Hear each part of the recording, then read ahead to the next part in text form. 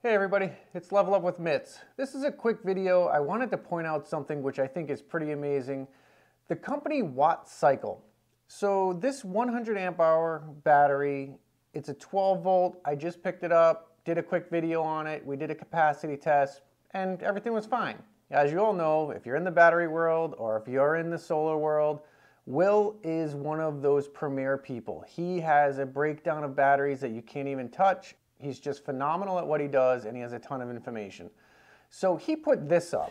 3,584, but the case says 3,840.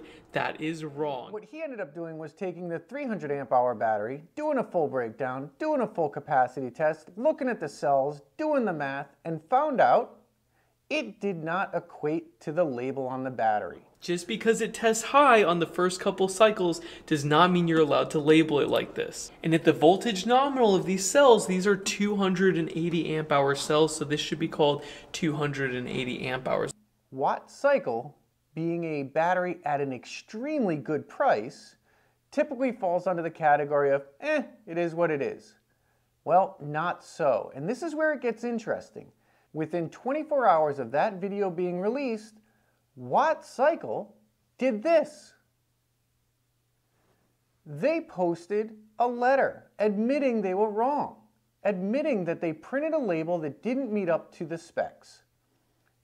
To me, that is more valuable in a company to admit they did something wrong and immediately go after what they did and correct it. They're going to print new labels. They're going to provide a discount. They're going to do whatever they can to make sure that the customer is happy. Show me another budget battery that's going to do it at that level. So just me diving into the batteries a little bit. I just found this extremely interesting and I'll tell you what, so far Watt Cycle has been one of the most responsive companies for the budget battery, but I don't even want to put it as a budget battery. It's a quality battery.